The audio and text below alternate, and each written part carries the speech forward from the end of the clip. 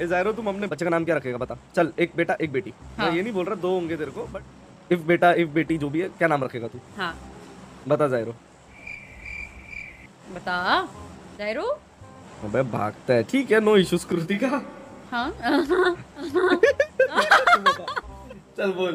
मैं अभी अभी सोचा नहीं था इसके पहले बट अब सोचने का मौका मिला है। मैं एक का नाम अलाना रखूँगी मतलब लड़की का नाम अगर हुई तो। अ- अलाना? अलाना हाँ।